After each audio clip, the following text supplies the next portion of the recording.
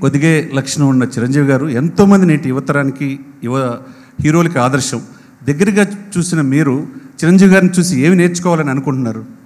ఆయన దయాగుణం చిరంజీవి గారి దయాగుణం మెగా స్టార్ మెగా హార్ట్ అండి.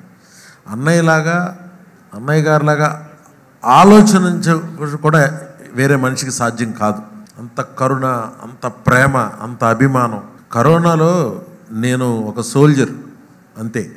కరోనా టైంలో ఆలోచన అయింది ఆచరణ అయింది ఆయన ఇచ్చిన పిలిపే ఆయన ఆయన మేజర్.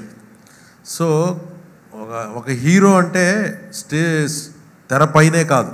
బయట కూడా ఆ నాయకుడి ఆ- హీరో లక్షణాలు పుష్కలంగా ఉన్నాయా? అన్నయ్యలో ఆయన కరుణామూర్తి.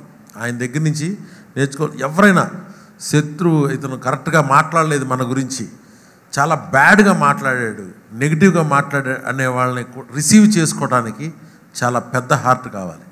నవ్వుతూ పలకరించడానికి చాలా పెద్ద హార్ట్ కావాలి. అది అన్నయ్య మనసు ఎవరికీ లేదు.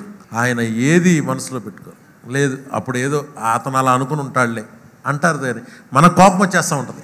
ఏంటిది? నేను ఆయన దగ్గర నుంచి నేర్చుకున్నది. బాగా ఆయన అబ్జర్వ్ చేసి ఏంటి ఇంత ఇంత ఓర్పా ఇంత సహనమా? ఏంటి? అని. అందుకే ఆయన అంత ట్రాన్స్పరెంట్గా హార్ట్ అలా ఉంటుంది కాబట్టే ఆయన రాజకీయాలు వద్దనుకున్నారు. దానిలో ఆయన ఉండలేరు ఉండలేరు. అందుకే కంబ్యాక్ నా కోసమే వచ్చారు.